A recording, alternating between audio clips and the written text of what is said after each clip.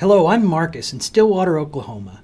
And building equipment harnesses can be quite a challenge because you've got both physical and electrical constraints you've got to meet. When you define a new component, such as a connector, adding the electrical connection points in SOLIDWORKS can now be done with a license of either routing or electrical 3D. Now, if you're using SOLIDWORKS Electrical, you can browse the component library or download the component definition from the Electrical Content Portal, which gives you the full list of all required terminations.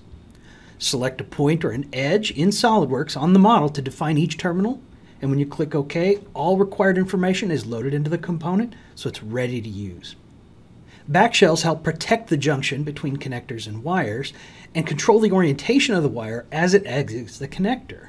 And they're now fully supported for harness design, so you can make sure everything will fit as expected. Add and specify the rotation of the back shells, and then they can be flattened with those components intact to create documentation that's clear and accurate. Electrical and Routing 2022 makes harness design and documentation faster and easier than ever.